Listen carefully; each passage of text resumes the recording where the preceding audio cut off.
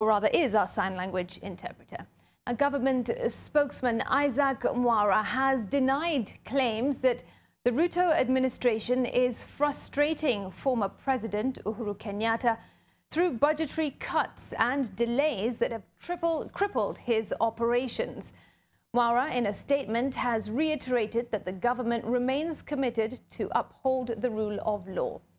Mwaura's response comes in the wake of a detailed statement from Kenyatta's office that painted a picture of a Ruto administration that is out to deny Kenyatta his retirement benefits.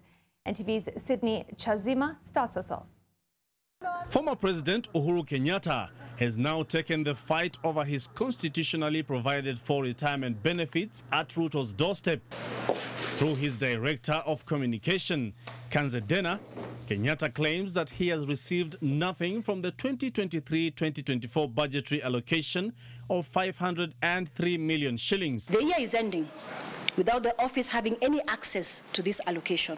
Equally, Kenyatta claims that from the 2022-2023 budgetary allocation of 655 million shillings, only 28 million shillings reached his account. To this end, Kenyatta wants to be consulted on matters budgetary allocation. We would also like to distance ourselves from budget estimates tabled in Parliament. Our position is that we had no input. But in response to this, government spokesman Isaac Mwaura claims that yeah. State House Comptroller, who is the accounting officer for State House, is under no obligation to seek concurrence with Kenyatta. Dena claims that Kenyatta has been forced to foot his own bills. The lack of access to our rightful budget allocation has forced the former president, Uhuru Kenyatta, to run the office from his pocket, paying for all the bills the office incurs. Other than the budgetary allocations, former President Uhuru Kenyatta is also finding fault in government's reluctance to furnish and pay for his office. Constitutionally, government is mandated to furnish, equip, and maintain a suitable office space not exceeding 1,000 square meters.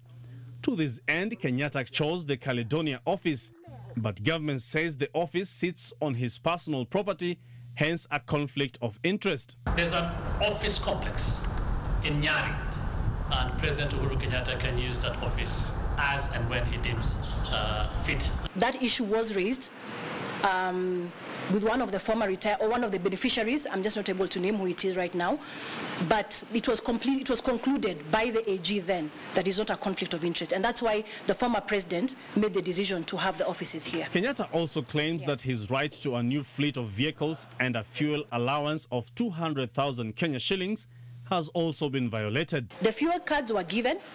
However, they were cancelled and blocked by State House since March 2023. His employees have also been targeted. The office still awaits the confirmation and communication on why they blatantly refuse to renew contracts of two professional staff members, the administrator, Mr. George Kariuki, and Mrs. Kanze Dena Mararo, who is the director communication. There is also the issue of unceremonious withdrawal and intimidation of staff via phone calls at midnight. There are several ways detailing how a retired head of state can forfeit his retirement benefits. This is according to the Retirement Benefits Act of 2003. The former president is yet to resign as the leader of the Jubilee Party, but that withstanding, Kenyatta's presence on the country's political sphere has been low-key of late. Could this just be the government on a revenge mission? Power is transient and the people of Kenya will overcome. We will not submit to your threats and blackmail. We will not bow to you.